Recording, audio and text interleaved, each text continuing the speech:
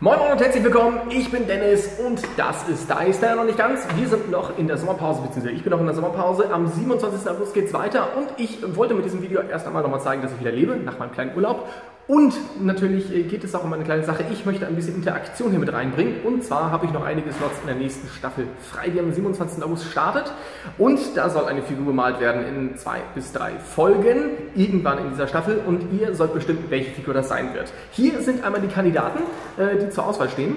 Einmal haben wir den äh, Space Marine Captain von Horus Heresy für die Emperor's Children. Dann haben wir für Freebooters Fate das große Piraten-Walross Franjo.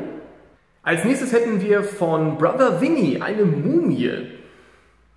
Dann von X-Faction diese interessante Lady, die auf dem Trollkopf steht. Und wir haben noch Archaon himself in der letzten Version, die bei dem großen Drachen mit dabei war für Warhammer bzw. Age of Sigma, allerdings nur er ohne den Drachen. Und zu guter Letzt sind wir noch einmal bei Infinity the Game. Für Aleph gibt es noch einmal diesen Naga Minenleger ja, das waren die teilnehmenden Figuren. Ihr könnt in den Kommentaren abstimmen und auch bei Facebook und Twitter jeweils mit dem Hashtag DICE, beziehungsweise auf der, bei Facebook auf der Seite von DICE, könnt ihr abstimmen für euren Favoriten, der bemalt werden soll. Ich werde nach und nach immer so einen Zwischenstand bei Facebook und bei Twitter posten und dann könnt ihr genau sehen und voten, welche Figur bemalt werden soll. Bis dahin wünsche ich euch ganz viel Spaß und solltet ihr auf der Gamescom nächste Woche sein, äh, haltet mal die Augen offen, vielleicht trifft man sich dort. Ich bin nämlich auch da und zwar die ganze Woche. So, ich gehe jetzt in die Sonne und wünsche euch Kraft Maga für alle.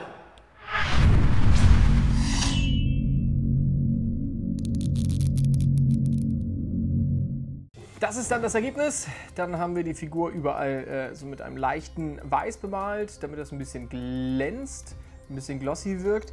Und auch hier wieder sieht das in der Kamera total beschissen aus. Also holla die Waldfee, das sieht aus, als ob ich das mit Kreide gemalt habe.